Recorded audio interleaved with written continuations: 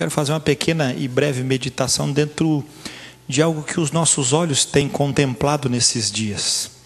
A palavra do Senhor diz que nos últimos dias o amor de muitos esfriaria. E a causa do amor esfriar, a Bíblia repercute dentro da igreja como a manifestação da apostasia. Apostasia não pode ser no mundo, não é verdade? Como é que vai ter apostasia no mundo? Se nunca serviram o Senhor, vai apostatar do quê? Apostasia é fruto dentro da igreja. Mas quando nós começamos a perceber as coisas, eu digo assim, aproveitando o ensejo do que o Alexandre falou, se existia uma nação corrupta era de Israel, se existia um reino que estava perdido era aquele. Se existia um princípio de religiosidade desvirtuado, era de Israel. Nada funcionava certo, a não ser a politicagem daquele povo. Isso funcionava que era uma beleza. E o Messias veio nessa época. Se nós olharmos hoje, está muito diferente. O que funciona como igreja hoje, visível é a politicagem. Que funciona como igreja hoje é os conchavos, é as aceitações, é as condições que nos levam para longe de Deus. Mas, igreja, eu queria que você percebesse isso. Quando Deus estabelece um padrão, é para que nós fiquemos com os olhos abertos, para ver se nós estamos dentro de um sistema de politicagem cada dia mais longe de Deus, defendendo uma verdade hipócrita. Ou se nós estamos realmente na presença de Deus, ouvindo as revelações que o Espírito Santo está trazendo para nós. Qual a diferença, pastor? Total, absurdamente total. Quem veio domingo à noite sabe bem disso. Totalmente diferente. Agora, se a Bíblia diz que a ciência se multiplicaria, ciência para conhecer as coisas de Deus, ponto. Segundo, se a Bíblia afirma que o amor de muitos esfriaria, sim, está acontecendo. Se a Bíblia diz que a apostasia chegaria até o coração da igreja, isso era para que nós percebêssemos. Quando nós estamos saindo com um grupo ou a turma que ficou segunda e terça ainda batendo de porta em porta e depois relataram para nós hoje lá para mim para Chica que estavam que estávamos lá a frieza do coração desse povo. Uns não querem nem falar de Deus. Outros fazem uma mistura de evangélico com espiritismo é, é, é, testemunho de Jeová mistura tudo cara nós estamos dentro de uma época que o mundo aí fora não consegue mais discernir quem é um evangélico. Evangélico para eles e espírita é a mesma coisa. Por que será? Porque misturou. Quando tu bota na panela e taca água e a fervura, meu filho, misturou tudo. Porque a forma como se desenvolve a conduta é a percepção que o mundo tem de nós. Se isso tudo trouxe para nós uma sensação dessa, é que nós estamos muito próximos da apostasia. Estou falando dentro da igreja. Por quê?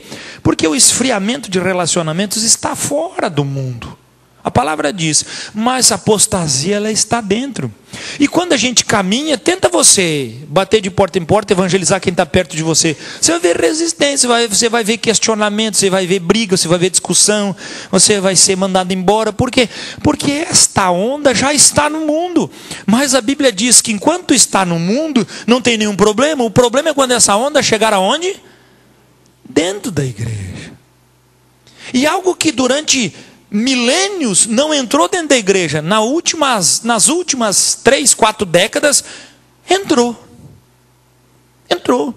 A ponto de muitos que estão se convertendo ao Senhor não estão conseguindo discernir as coisas do Senhor. E aí eu tomei como exemplo que o Alexandre falou: Simeão e Ana, o mundo estava caindo na cabeça deles, mas o coração deles permanecia onde? Em, os meus olhos esperam na tua revelação, Senhor. Agora que eu vi, pode dispensar o teu servo, não precisa de mais nada. Muda o foco não muda? Qual era a esperança desses dois? Ah, não, mas eu não concordo com aquilo, não vou mais buscar Deus. Eu não quero. Hoje a igreja é assim, quando não acontecem mais as coisas, a nossa ira não é contra as coisas que estão nos cercando, é contra Deus. Onde está Deus quando o meu parente, o meu pai, o meu amigo, o, o meu irmão da igreja está numa cama, aleijado que não consegue sair? Onde é que está Deus nesse negócio?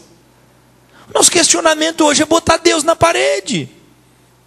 Mas se nós olhássemos, isso era o incrédulo que fazia. Mas hoje não é mais, não. Hoje quem bota Deus na parede é a igreja que bota Deus na parede. É você, é eu. Quando começa a vir ideias das quais o Senhor nos advertiu. Abra sua Bíblia no penúltimo livro da Bíblia, né? O livro de Judas. Judas 3. Amados, quando empregava toda a diligência em escrever-vos acerca da nossa comum salvação, foi que me senti obrigado a corresponder-me convosco, exortando-vos a batalhardes diligentemente pela fé que uma vez por todas foi entregue aos santos. Irmãos, ninguém mais ensina você a batalhar pela fé. Se nós falarmos, a fé hoje ela é passiva. Que você tem que fazer pela fé? Eu faço, espero, ou determino e ando, mas a Bíblia diz que nós temos que batalhar pela fé que nos conduz à salvação. Peraí, pastor, mas a salvação não é o, o transformar da minha vida na presença de Deus? É. mas amado, veja, nos últimos dias, Judas traz para nós um esclarecimento amplo, para que nós prestássemos atenção e contemplássemos as coisas do mundo que tirariam com tanta facilidade da nossa posição aquela que Cristo nos deu. Porque os nossos olhos não estariam fixos em Cristo e na posição que Ele nos dá, que é a posição de ressuscitados e assentados juntamente com Cristo nas regiões celestes. Isso é a única verdade da igreja hoje. Mas nós colocamos sempre o nosso foco aonde? Nas nossas limitações, nas nossas escolhas, nas nossas derrotas, no assombro daquilo que nós estabelecemos como vontade de Deus. E aí ele diz para nós que é para batalhar diligentemente pela fé que uma vez por todas foi entregue aos santos. 4. Pois certos indivíduos se introduziram com dissimulação, os quais desde muito foram antecipadamente pronunciados para esta condenação. Homens ímpios que transformam em libertinagem a graça de nosso Deus e negam o nosso único e soberano e Senhor Jesus Cristo. Peraí, mas eles vão dizer que eles não acreditam em Jesus? Não é isso que o texto está dizendo. A Bíblia diz que eles negam só que aqui tem uma coisa legal aqui na palavra do Senhor. Negar na palavra no português, nós às vezes o que é negar? É na nossa cabeça às vezes negar é, é discordar ou é passar de lado. Mas o negar não tem só este sentido. Não tem só este sentido. Negar, muitas vezes, não está na nossa fala apenas, mas na nossa conduta. Às vezes você nega Jesus. Eu não, Deus o livre, pastor. Eu não nego Jesus. Mas caminha negando Jesus. Qual é o que tem mais valor? O que ele está falando ou a sua conduta? Aqui, neste texto, ele está dizendo que os que negam Jesus, ele está se definindo de, quê? De homens ímpios, dissimulados, que entrariam no meio, falariam a linguagem, mas a forma de conduta deles era o quê? Era o oposto, era negar Jesus. Não era porque eles não sabiam estar no meio. Eles dizem, gente, eles vão entrar no meio, eles não estão tá aqui. Vão estar tá presente. Olha só, versículo 4. Pois certos indivíduos se introduziram com simulação. O que é, um dissimulado? Diz que é. Ou aqui para Chica, oh, Chica querida, Chica virou as costas, uh, enjoada, chata. É dissimulado. Uma pessoa que, quando, no fundo, odeia. A pessoa que diz que ama, mas o coração é perverso. Uma pessoa que diz de boca cheia que perdoa, mas as atitudes dela é de intransigência e de falta de perdão. Uma pessoa que diz que ama, mas a atitude dela é de falta de amor, a conduta dela é passar por cima dos outros. Isso é um simulado. Onde é que ele vai estar, irmãos? Onde é que eles vão estar? Aqui. Se já tinha na época de Judas, tu imagina hoje. Simulação, os quais desde muito foram antecipadamente pronunciados para essa condenação. Homens o quê? Ou seja, o dissimulado, ele é considerado por Deus como uma pessoa, ele é convertido. Ah, ele é ímpio. Que mais? Que transformam em libertinagem. Não, mas Jesus já conquistou tudo por nós. Por que, que nós temos que se esforçar? Por que, que nós temos que batalhar por isso? É deitar aqui e ficar. Mas, pastor, eu não sou assim. Pois é, às vezes você não é assim. Mas o texto está dizendo para nós que se o seu coração aprova as coisas malignas que acontecem lá fora e é introduzida dentro da igreja, você também é um ímpio dissimulado. Nunca eu vou falar isso para o senhor. Para mim, você não vai falar mesmo que você vai ganhar uma cajadada no meio da testa? Mas se o teu coração pensa dessa forma e age dessa forma, você é dissimulado, você é ímpio. Se você é um adolescente, um jovem, que beija todo mundo na escola, que sabe que isso é pecado, se você é um adulto, um jovem que transa com todo mundo, mas aqui na igreja ninguém sabe, porque quem vai saber se tu transa? Ninguém sabe, mas lá fora, né? Passa a rede e cata tudo que é coisa ruim, toco, bota, bota tudo dentro do barco. É? E chega aqui na igreja dizendo que é o quê? Oh, eu sou santo. Oh, meu Deus. Eu sou santo. Quem é esse? Dissimulado. A Bíblia está dizendo, irmãos, uma coisa clara aqui. Tudo que envolve isso é impiedade e dissimulação impiedade e dissimulação. Às vezes nós estamos andando e não vimos que os ímpios estão do nosso lado, querido. Porque ele não vai falar para você, mas decorda que entre linhas vai ter. O ímpio dissimulado, ele não quer ele não quer convivência com você. Por quê? Porque se ele tiver convivência com a igreja, a gente vai começar a andar com ele e ele vai mostrar quem ele é. Aí o que, que ele quer? Ele não quer por que, que as igrejas estão cada dia maiores? Porque se você ficar igreja pequena, ninguém quer participar de igreja pequena. Por que, que eu vou para igreja pequena? Eu chego lá, todo mundo me conhece, todo mundo me chama pelo nome, todo mundo sabe onde é que eu moro. Não, vou para uma igreja que eu entro, saio, eu ouço de Deus, me sinto bem e vou embora. Não é isso que o povo diz? Por que isso? Essas igrejas grandes, simuladas, igrejas de ímpios histórias que acontecem. Ah, pastor, estou apaixonado pela fulana de tal. Já aconteceu comigo. É, meu filho, mas ela é casada. Não, estou orando para Deus matar o marido dela. Oh. Dentro da igreja. É, mas está apaixonado. O céu pode se abrir, cai um raio na cabeça daquele sem vergonha. E aí eu estou aqui esperando para ser o príncipe encantado dela.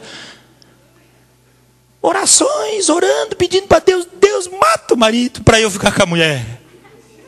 É, coisas semelhantes. A gente está falando de coisas, irmãos, que estão, a impiedade tomou conta, mas isso é o primeiro passo para que aconteça o que? A apostasia, o descrédito. Ninguém mais vai ter a consciência disso.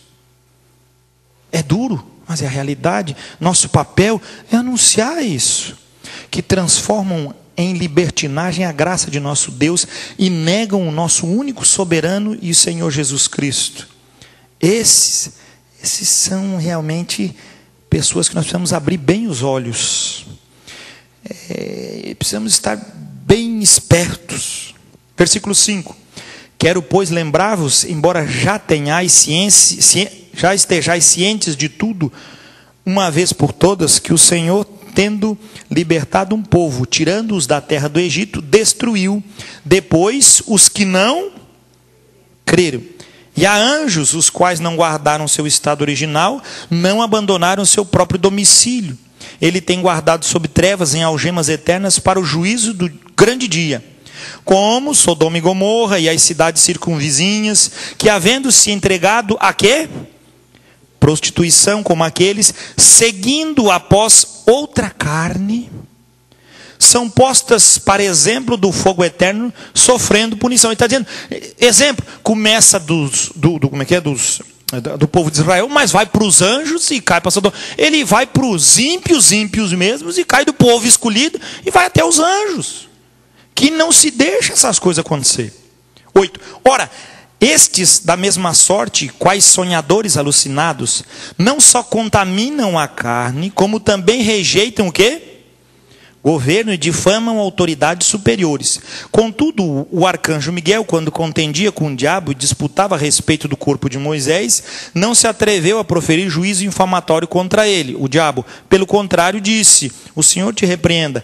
Estes homens, porém, quanto a tudo que não entendem, difamam, e quanto a tudo que compreendem por instinto natural, como brutos sem razão, até, nossas, até nessas coisas se corrompem.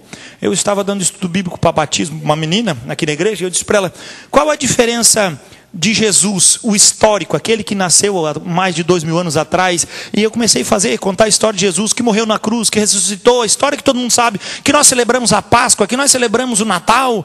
Ela disse: sim, esse Jesus é pregado na igreja. Ela falou: sim, é pregado na igreja. Diga amém, joia, fechou, você entendeu.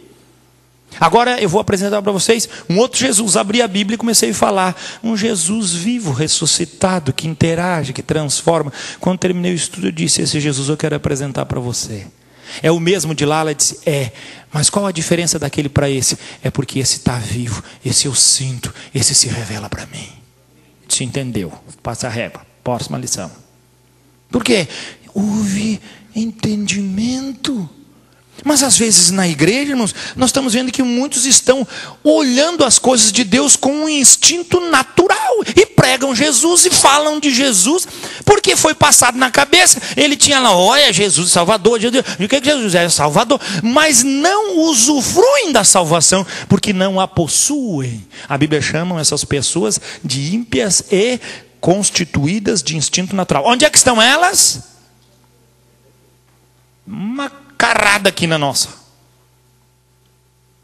É verdade, vai ver. Distinguem as coisas espirituais pelo instinto que a palavra chama de natural. Pessoa, eu entendo isso que o senhor está falando, eu sei, entende aqui, mas nunca desceu ao coração. O que, que diz Paulo?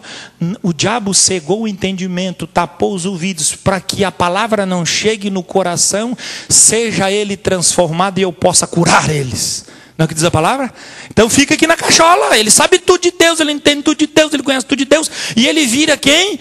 Um grande religioso judaico. Agora ele vive um grande evangélico cristão. Sabe tudo da religião, sabe tudo dos conceitos, mas não conhece nada de Jesus.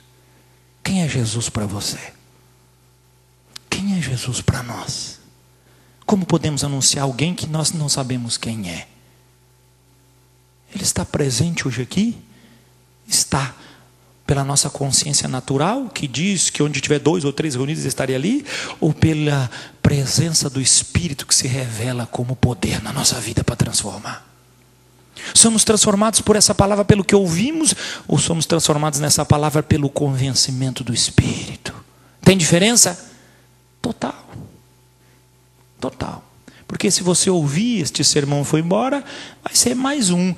Mas se for convencido pelo Espírito, haverá transformação, haverá purificação, que a Bíblia diz que nós somos purificados pela palavra de Deus. É verdade ou não é? Que diz mais? 11. Aí deles, porque prosseguiram pelo caminho de Caim, porque prosseguiram pelo caminho de Caim e movidos de ganância se precipitaram no erro de Balaão e pereceram na revolta de Corá. Por que, que ele bota os três? Caim, Balaão e Coré. Ou Corá. Vamos lá, Caim. Caim estava fazendo o quê? Qual era a ação de Caim? Hã? O que, que Caim fez com o irmão? Matou. Mas matou o irmão por quê? Por inveja. Inveja do quê? Inveja do quê? Sabe o quê? É que é, Abel fez um culto melhor que ele. Se você não sabia, aprenda isso e entenda. Não é um nem dois. Nós temos vários processos no Brasil de pastores que mandam matar outro pastor, porque está tomando muito brilho no lugar dele.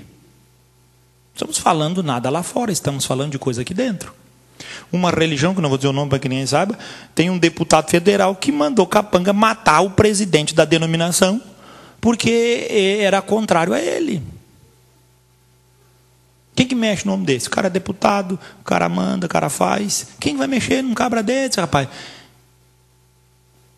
E aí continua deputado ainda. Ninguém botou as mãos nele. E pelo jeito não vai botar tão fácil. Por quê? Estamos vivendo assim. Está muito longe isso? Tá não, meu filho. Um odiando o outro, porque o culto, um Deus aceita, outro não. O outro, Balão. Balão procurou Deus, queria amaldiçoar, Deus não deixou, ele foi para abençoar. O culto de Balão era correto, mas os conselhos de Balão, ó, ou na presença de Deus, sim, Deus, eu abençoarei toda vez que estendeu a mão, abençoou Israel. Foi ou não foi? Mas qual era a prática dele? Ó, oh, se tu me der uma grana extra, eu te dou a receita. Tome riquezas para ti, Balão. Ó, oh, ganância. Ó, oh, se as filhas do povo de vocês ensinarem outros deuses para eles, que inclui os rituais de você, que é prostituição, então o povo se prostituirá e Deus então vai lançar uma peste, vai destruir o povo. E aí Balaão voltou para sua casa, faceiro, e eles fazem isso. Ou não fazem? Até que Finéias, vendo que um, israelita desfilava com uma midianita entrando dentro da tenda e o povo lá clamando e a peste comendo e, e, destruindo o povo todo, e ele pegou a moça e levou para a sua tenda. Pega então uma lança e atravessa. E Deus diz: opa, é, jamais a minha benignidade sairá da casa de Finéias. Porque ele foi o quê? Temeu, foi, temeu o nome do Senhor, honrou o Senhor. Ué, mas matar não é errado, como é que é? Dependendo do matar, até é bom. É, meu filho, eu porque nunca ando armado. Ainda bem que no Brasil não. Se eu fosse americano, tinha matado uns 10 já. Encomendado a arma já na pistola. Por quê? Falando não adianta. Coreia, o que, que era? O que, que Coreia disse? Lá com Moisés, o que, que eles eram? Participavam do culto, gente. Quando ele está falando isso aqui, ele está falando de alguma coisa fora, não está falando de ímpio, ele está falando de onde? Ele está falando aqui de dentro, rapaz. Aqui no louvor é o lugar que não dá problema na igreja for, não dá problema na igreja. Ministério da palavra não dá problema na igreja. Isso nunca dá problema na igreja. Isso dá problema na cabeça de vocês. Aqui não tem problema. Todo mundo é santo. Tudo gospel. Né? Holy gospel aqui. Todo mundo holy gospel. O povo aqui é outro nível. Precisamos entender isso aqui, meu filho. Olha só. 12. Estes homens são como rochas submersas em vossas festas de fraternidade, banqueteando-se juntos sem qualquer recato, pastores que a si mesmos se apacentam, nuvens sem água impelidas pelos ventos, árvores em plena estação dos frutos destes desprovidas, duplamente mortas, desarraigadas, ondas bravias do mar que espumam as suas próprias sujidades, estrelas errantes, para as quais tem sido guardada a negridão das trevas, para quando? Para sempre versículo 17, para nós encerrar, senão eu vou embora. Vós, porém, amados, lembrai-vos das palavras anteriormente proferidas pelos apóstolos de nosso Senhor Jesus Cristo, os quais vos diziam: No último tempo haverá escarnecedores, andando segundo as suas ímpias paixões. Amados, existem gente dentro dessa igreja trazendo conselhos de ímpias paixões, e muitos dos nossos jovens, adultos, famílias estão indo atrás.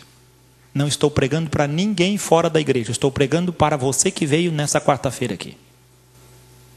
Cuide bem do seu casamento, cuide bem dos seus filhos, cuide bem da sua casa.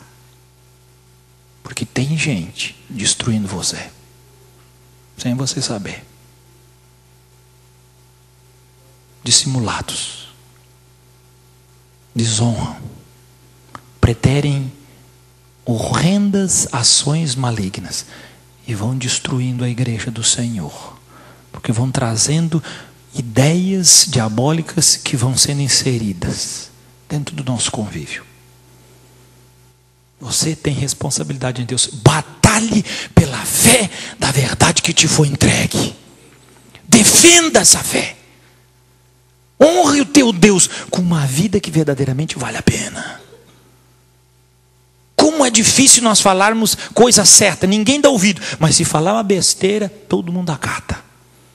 Como os homens pastoreiam-se a si mesmos. Eu não estou dizendo isso para que você me tenha como um supremo pastor. Eu quero que você seja pastoreado pelo Espírito do Senhor. Que você seja verdadeiramente uma ovelha de Jesus Cristo. Porque Ele é o pastor perfeito. Mas se você não consegue ver Jesus, olhe para mim. Deus me colocou neste lugar para pastorear e cuidar da sua vida também. O que diz mais o texto? Versículo 19. São estes os que promovem divisões. Que mais? sensuais, que não têm o espírito.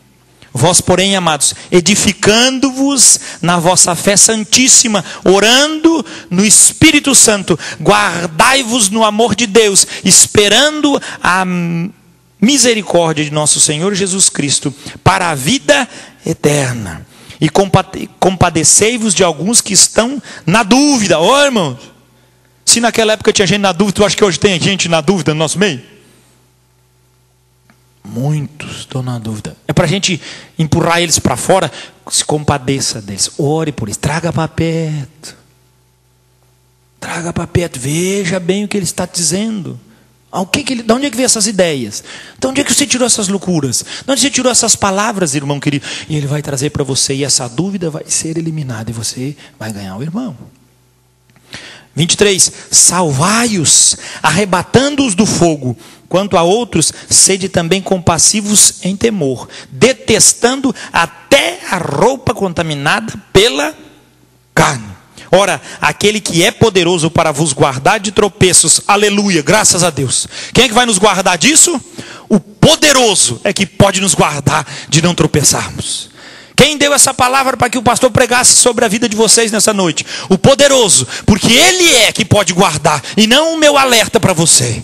Mas o poderoso pode guardar a sua vida, a sua casa e as suas famílias e os seus filhos. Ele é o poderoso. Estendeu sua mão para despertar-nos nessa noite aquele que é poderoso para vos guardar de tropeços e para vos apresentar com exultação, imaculados diante da sua glória, a único Deus, nosso Salvador, mediante Jesus Cristo, Senhor nosso, glória, majestade, império e soberania, antes de todas as eras e agora e por todos os séculos. Amém. É este poderoso que não vai deixar a igreja do Senhor ser engolida pelas heresias que se plantam no meio dela o poderoso. Nós temos alguém que nos livra dessas mazelas. O poderoso do céu, o salvador das nossas almas, o Senhor que nos traz um compromisso de graça e de poder. Aleluia, Ele está no nosso meio. Por isso prego essa palavra, porque o poderoso vai guardar as nossas vidas.